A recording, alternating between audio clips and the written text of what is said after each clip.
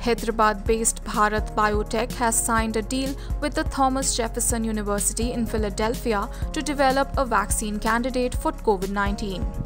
The vaccine, called CoraVax, was developed at Jefferson using an existing deactivated rabies vaccine as a carrier for coronavirus proteins.